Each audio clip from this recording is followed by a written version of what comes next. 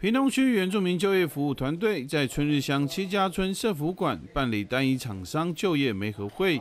虽然现场求职者不多，但有不少年轻人参与面试，希望在家乡附近就能找到合适工作。附近工作好找，很难找，薪水就差差很多了，然后就业就业机会跟那个呃几率也比较低。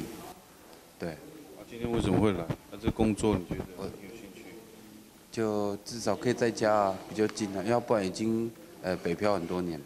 这次征才厂商提供卫生污水下水道团体作业员的工作机会，厂商本身也是屏东在地族人，希望借由单一媒合会到部落发掘愿意学技术的人才，并期待在这项工作领域开出原住民自己的路。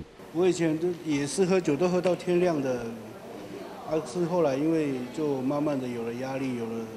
在工作中的成长嘛，然后就改变。我都说我可以了，我相信我自己的族人应该也都 OK，都没有问题。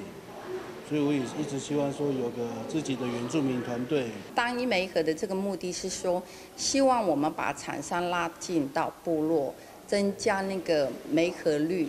因为有时候因为距离的关系，可能他会打消这个念头，所以我们邀请厂商到部落。原住民就业服务屏东区今年也办理两场大型媒合会，但相较部落单一征才，媒合率较低，因此近期积极推动部落媒合，针对地缘工作项目进行盘点，增加族人找到合适工作的机会。